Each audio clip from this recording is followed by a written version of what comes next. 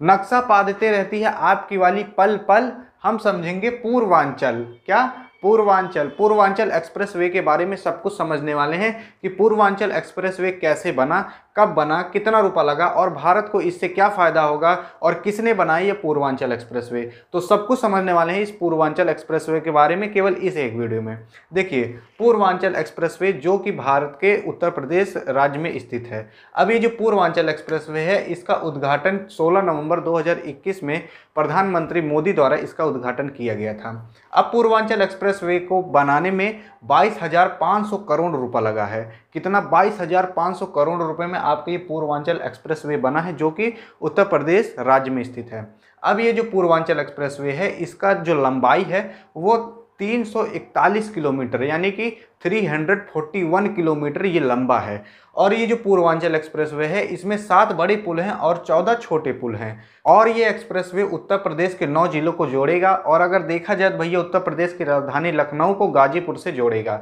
लखनऊ से गाजीपुर तक को आपको जाने में भैया लगता था पहले नौ से दस घंटा, लेकिन अगर आप इस एक्सप्रेसवे से जाओगे तो केवल आपको लगेगा चार से पाँच घंटा, यानी कि अब आपका जो सफ़र है, सफ़र का जो समय है वो भैया आपका लगभग पूरा आधा हो चुका है। अब जैसे कि मान लीजिए आप रोड रोड से जाते थे तो रोड में भैया जाम फंसता था, पों पों पों करके जाते थे, लेकिन इस एक्सप्रेसवे की मदद से लखनऊ से गाजीपुर की जो दूरी है, नौ से दस घंटा थी, अब वो घट के चार से पाँच घंटा हो गई है।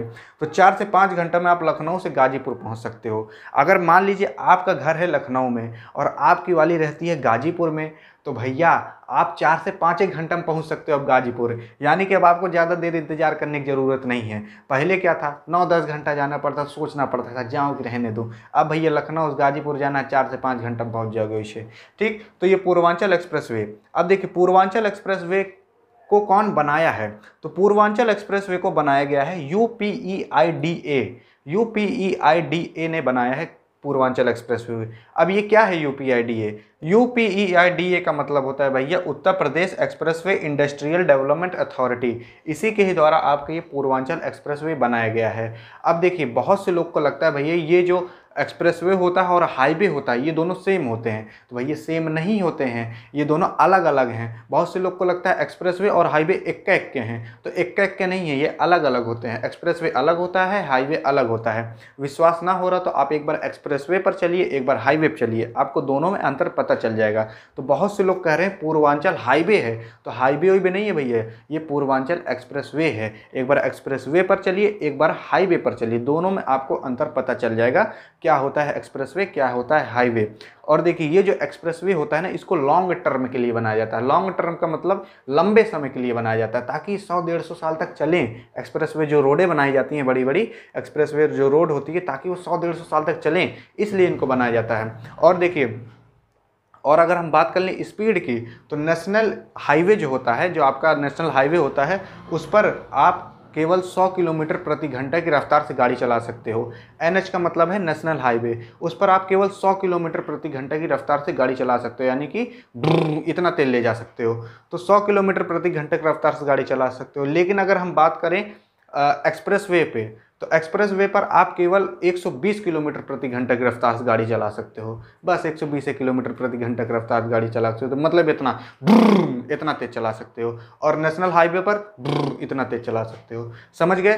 क्या अंतर होता है? नेशनल हाईवे पर आप 100 किलोमीटर प्रति घंटा की रफ्तार से गाड़ी चला सकते हो और एक्सप्रेस वे पर आप 120 किलोमीटर प्रति घंटे की रफ्तार से गाड़ी चला सकते हो। लेकिन हम बात करें दूसरे देश की। दूसरे देश जैसे कि जर्मनी हो गया, आपका ये यूएसए हो गया, अमेरिका हो गया, इन सब में आप एक्सप्रेस वे पर आप भैया 140 किलोमीटर प्रति घंटे की रफ्तार से गाड़ी चला सकते हो, लेकिन भारत में एक्सप्रेस वे पर आप 120 किलोमीटर की रफ्तार से गाड़ी चला सकते हो। और देखिए भैया, ऐसा नहीं है कि ये जो पूर्वांचल एक्सप्रेस वे है, ये उत्तर प्रदेश का पहला एक्सप्रेस वे है, ऐसा नहीं है। इससे पहले भी उत्तर प्रदेश में और भी एक्सप्रेस बन चुके हैं और कुछ एक्सप्रेस अभी बन रहे हैं उत्तर प्रदेश में, यानी कि अंडर कंस्ट्रक्शन में है। और अगर हम बात करें ये इस पूर्वांचल एक्सप्रेस की तो इस पूर्वांचल एक्सप्रेस में तीन दशमलव दो किलोमीटर की एयर स्ट्रिप बनी है। अब ये एयर स्ट्रिप क्या होती है? एयर स्ट्रिप ऐसी चीज़ होती है जहाँ पर आपकी कोई भी लड़ाकू विमान आकर उतर सकती है, कोई भी वायुयान आकर उतर सकता है, उसी को हम कहते हैं एयर स्ट्रिप।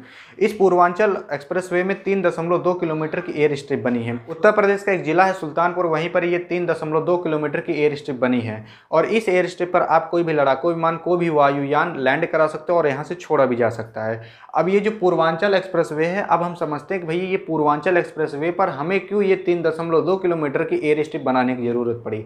मान लीजिए कौनो देश हमारे देश के ऊपर अटैक कर देता है तो उसकी फाड़ने के लिए हमें ये तीन दशमलव दो किलोमीटर की एयर स्ट्रिप बनानी पड़ी। क्योंकि मान लीजिए कौनो देश अटैक करता है तो यहीं से ही हम सुल्तानपुर ज़िले से ही हम यहाँ से छोड़ सकते हैं, अपने वायुयान को, अपने लड़ाकू विमान को और फौजियों को भी यहीं से ही भेजा भेजा जा सकता है। और जब इस पूर्वांचल एक्सप्रेसवे का उद्घाटन हो रहा था तो भैया हमारे देश के प्रधानमंत्री यानी कि पीएम मोदी आए थे। पीएम मोदी आए थे वो किससे आए थे? C one thirty J Hercules विमान से आए थे। ये जो विमान होता है बहुत तगड़ा होता है खूब बॉडी होती है। ये जो विमान होता है, बहुत तगड़ा होता है, देखने में बहुत हैकड़ होता है। तो वो जो विमान था, वो भी भैया इसी तीन दशमलव दो किलोमीटर के एयर स्ट्रिप पर ही लैंड किया था। अब हम समझते हैं कि ये जो एक्सप्रेसवे होता है, ये कैसे एक देश को आगे बढ़ाने में बहुत मदद करता है। देखिए, एक एक्सप्रेसवे एक देश को आगे बढ़ाने में बहुत मदद करता है, यानी कि हमारे भारत देश को भी ये एक्सप्रेसवे पूर्वांचल एक्सप्रेसवे आगे बढ़ाने में बहुत मदद करेगा, उत्तर प्रदेश को आगे बढ़ाने में बहुत मदद करेगा। कैसे? देखिए, मान लीजिए कोई बिल्डिंग है जो कि गिर गई है। अब उसका सामान लाने के लिए हमें बहुत दूर जाना पड़ेगा। अब भैया जाम उम लगा है तो भैया जाम में से पों पों कर कर जाएँगे। लेकिन कहीं एक्सप्रेसवे है तो आप एक्सप्रेसवे से आप 120 किलोमीटर प्रति घंटे की रफ्तार से आराम से जा सकते हो। यानी कि जो हमारा ट्रांसपोर्टेशन है, क्या? ट्रांसपोर्टेशन वो बहुत तेज़ होने लगेगा इस एक्सप्रेस वे की वजह से। मान लीजिए कौन बिल्डिंग गिर गई या फिर कोई पुल टूट गया तो पुल टूट गया तो मान लीजिए हमें उसका सामान लाना है तो भैया बहुत दूर मिलेगा तो हम एक्सप्रेसवे की मदद से 120 किलोमीटर प्रति घंटे की रफ्तार से जा सकते हैं और आ सकते हैं। तो इससे हमारा जो काम होगा वो बहुत रफ्तार से होने लगेगा, बहुत तेज़ी से होने लगेगा। और इसलिए ये भी कहा जाता है, जो चाइना देश है ना, उसका डेवलपमेंट भी इस एक्सप्रेसवे की मदद से बहुत तेज़ हुआ है, क्योंकि वहाँ पर एक्सप्रेसवे बहुत ज़्यादा हैं। तो इसकी वजह से भी चाइना देश का जो डेवलपमेंट है वो बहुत तेज़ हुआ है। ठीक? देखिए एक्सप्रेसवे से क्या होता है कि आप कोई सामान जल्दी से ले जा सकते हो, कोई सामान तुरंत ले आ सकते हो। मान लीजिए कौन बिल्डिंग गिर गई, कोई सरकारी काम हो रहा है, वहाँ पर सामान को लाने के लिए अब आप भैया रोड से जा रहे हो, जाम लगा है, बहुत देर में पहुँचोगे, लेकिन एक्सप्रेसवे से जाओगे 120 किलोमीटर प्रति घंटे की रफ्तार से वहाँ जा सकते हो तो आप सामान तुरंत ले आओगे। तो जब तुरंत ले आओगे डेवलपमेंट तेज़ होगा ट्रांसपोर्टेशन तेज़ होगा तो भैया जब 120 किलोमीटर प्रति घंटे की रफ्तार से जाओगे, थोड़ा सावधानी से जाना। तो जो एक्सप्रेसवे होता है, इस तरीके से एक देश को आगे बढ़ाने का काम करता है। एक्सप्रेसवे है तो आपका ट्रांसपोर्टेशन तेज होगा, आपकी इकोनॉमिक एक्टिविटी भी अच्छी होती चली जाएगी बैलेंस रहेगी तो इससे एक देश आगे बढ़ता है एक्सप्रेसवे की मदद से। और देखिए, मान लीजिए आपकी वाली आपसे गुस्सा है कहेगी भगवती धरा कहूँ घुमावत ना है, लगता है दूसरा पटाना पड़ेगा। तो भैया, आप अपनी जान बचाने के लिए उसको घुमाने के लिए ले जाओगे। पता लगा आप नॉर्मल रोड से ले जा रहे हो, बीचों मिल गया जाम, वहीं पों पों कर रहे हो, आपकी वाली और गुस्सा आ रही है।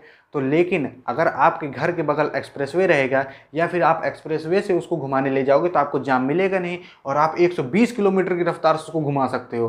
तो जब भैया एक्सप्रेसवे रहेगा ना तो आप आराम से उसको घुमा सकते हो, आप अपनी जान भी बचा सकते हो ऐसे, ठीक है? तो एक्सप्रेसवे से ये भी फ़ायदा होता है, अपनी वाली को आराम से आप घुमा सकते हो, कहीं भी ले जा ले जा सकते हो, आपको जाम नहीं मिलेगा एक्सप्रेस पर।